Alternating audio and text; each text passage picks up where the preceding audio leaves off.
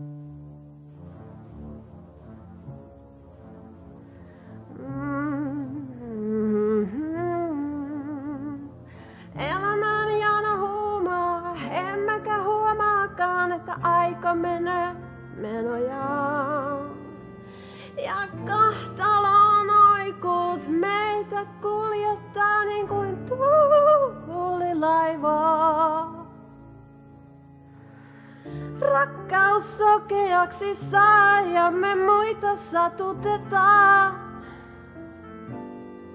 Miksi me odotetaan, kuulin vuutelle, että me pyydetään anteeksi. Sillä kohtalon oikun meitä kaikki kuljettaa niin kuin tuulilaivaa.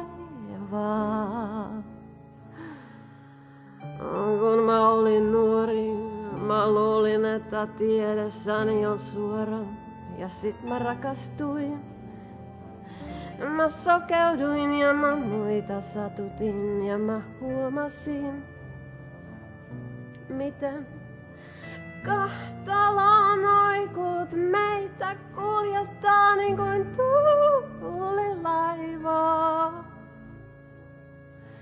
Joo, no elämä sokeuttaa ja me muita satutetaan.